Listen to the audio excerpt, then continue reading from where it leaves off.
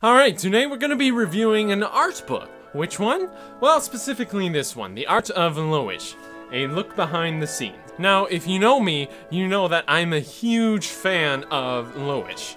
So imagine my excitement when I first opened up this book. Now, your typical art book is pretty basic. It usually just has pictures of the artist's illustrations and of the artists themselves. But not this one! I mean, look at this thing! Boom! Works in progress, painting process, contents pages!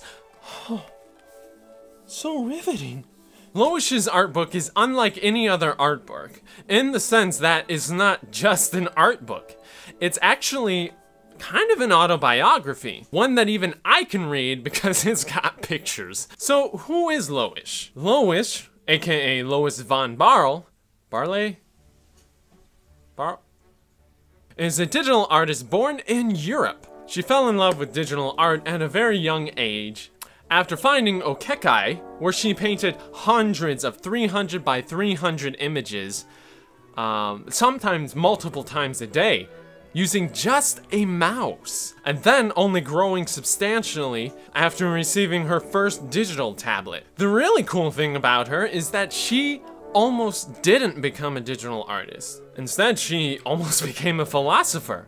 I mean, can you imagine? I can't believe it either.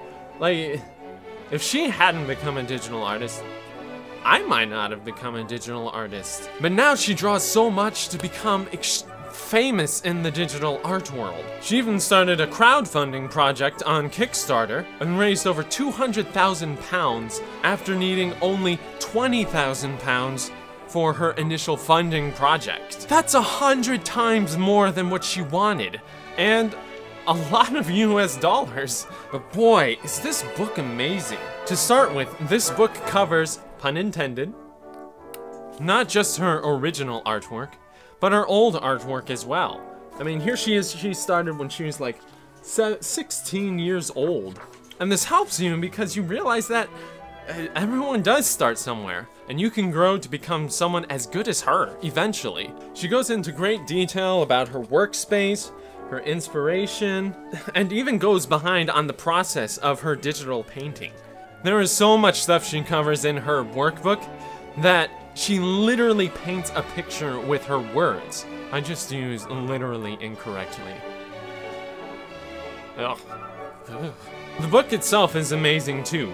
The pages are thick and sturdy, the ink quality is superb, and she even goes the extra mile to paint an exclusive artwork to cover her book. Like, that's dedication. That's not all. She goes out of her way to make two exclusive tutorials for all those interested in her style of painting that you can't find anywhere else. And she goes into incredible detail about them. I mean, just look at this one.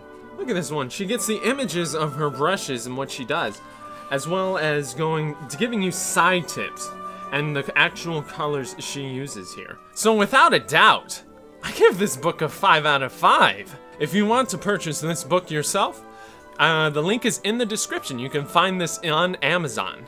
And if you want to see more art reviews, how-to tutorials, or join me on streams, then go ahead and click that subscribe button. Love you guys. Peace out.